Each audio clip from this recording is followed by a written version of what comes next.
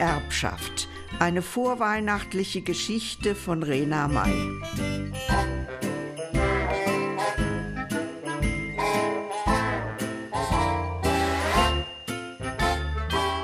Tante Amalia, meine Erbtante, war gestorben, ausgerechnet in der vorweihnachtlichen Zeit, wo jeder im Stress ist.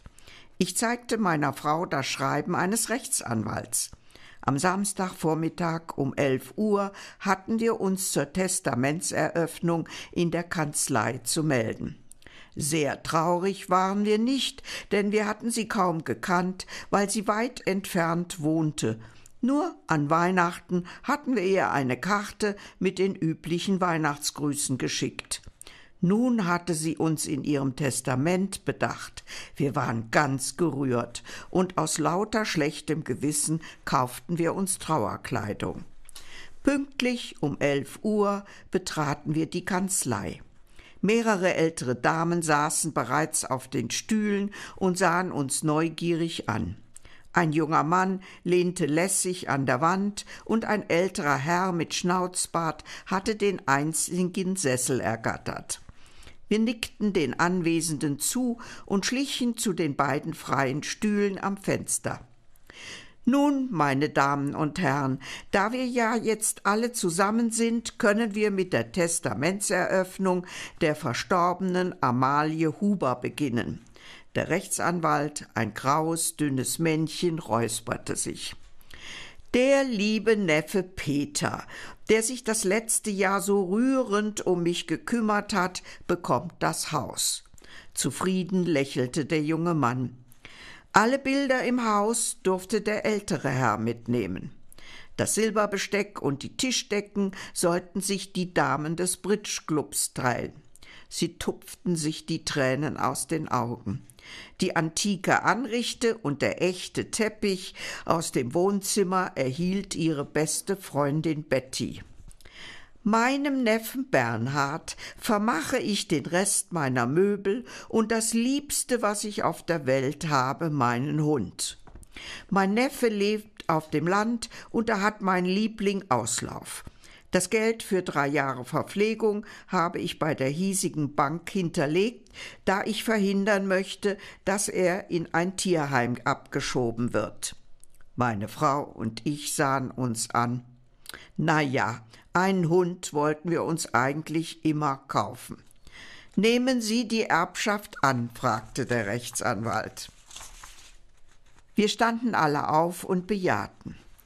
Ein paar Tage später hielt der Wagen eines Tierheims vor unserer Haustüre. Wir bringen Ihren Hund. Nun sahen wir zum ersten Mal unseren neuen Mitbewohner.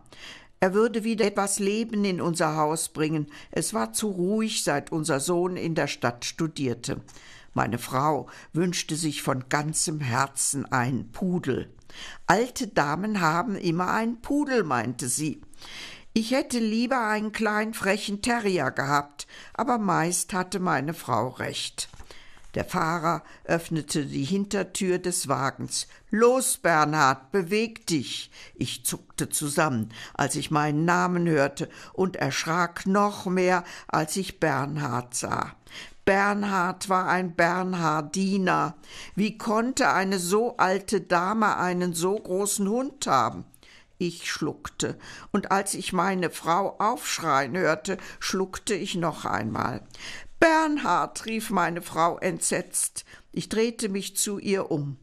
Der Hund stutzte, lief auf sie zu, stellte sich auf die Hinterbeine, legte die Pfoten auf ihre Schultern und warf sie um. Der Fahrer des Wagens lachte. Keine Angst, sagte er beschwichtigend, er wollte Sie nur lieb begrüßen.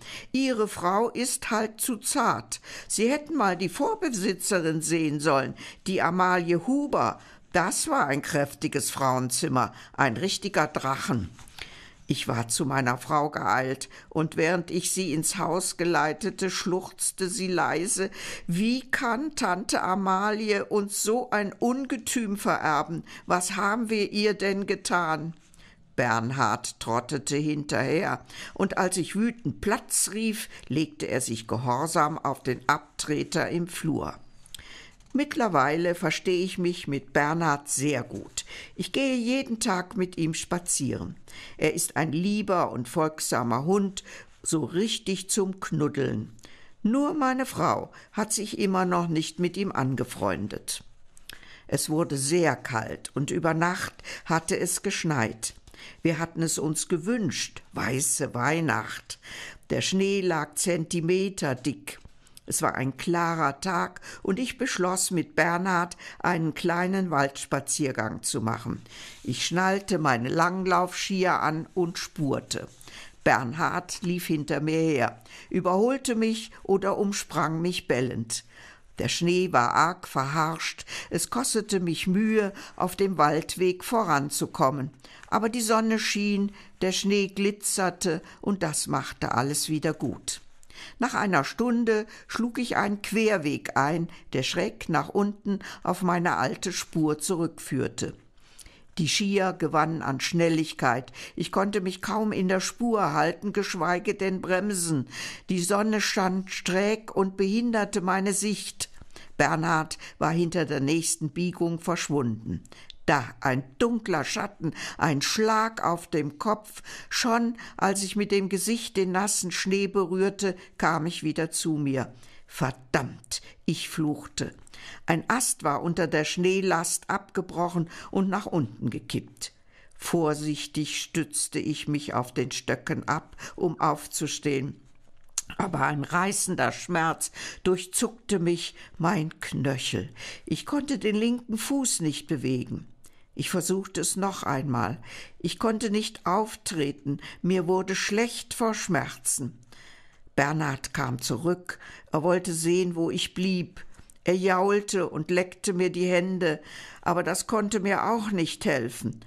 Lauf, sagte ich verzweifelt, lauf nach Hause und hole Frauchen. Er hob den Kopf, sah mich mit seinen klugen Augen an. Lauf zu Frauchen, rief ich noch einmal, als er zögerte, dann lief er meine Spur zurück. Ich knöpfte den Anorak bis unters Kinn zu, aber die Kälte kroch in mich hinein. Meine Füße merkte ich kaum noch und bald gar nicht mehr. Ich rief laut um Hilfe, falls doch ein Mensch in der Nähe war. Es verging eine Viertelstunde, eine halbe Stunde, die Zähne klapperten. Da konnte es möglich sein, ich hörte Stimmen, der Schnee knirschte, ich rief schwach zu Hilfe hierher. Wir kommen, rief eine Männerstimme, sie klang mir wie Weihnachtsgeläute. Dann sah ich Bernhard. Er preschte vor, umkreiste mich, winselte und bellte zugleich. Ich nahm seinen dicken, wolligen Kopf in meine Arme und weinte Tränen der Erleichterung. Zwei Männer in Langlaufkluft kamen hinter ihm her. Sie schnallten ihre Skier ab und kamen auf mich zu, wobei sie knöcheltief in den Schnee einsackten. Haben Sie sich verletzt? Ich deutete nur auf meinen Fuß. Wir helfen Ihnen. Sie öffneten meine Bindung. Stehen Sie auf Ihrem gesunden Bein auf, wir stützen Sie. Ich fühlte mich hochgehoben und biss die Zähne zusammen, als der stechende Schmerz mich erneut durchriss. Vorsichtig brachten sie mich hinunter auf den Hauptweg. Für Ihren klugen Hund können Sie dankbar sein, sagte einer meiner Retter. Als er uns plötzlich in den Weg lief, blieben wir erschrocken stehen und dachten, jetzt hat unsere letzte Stunde geschlagen. Aber er legte sich uns in den Weg, winselte, lief dann ein paar Schritte vor, winselte erneut, so lange, bis wir merkten, dass er uns etwas zeigen wollte. Seit diesem Vorfall lächelt meine Frau liebevoll, gleichgültig welchen Bernhard sie ruft. Und unter dem Weihnachtsbaum wird für Bernhard ein besonders großer Knochen liegen.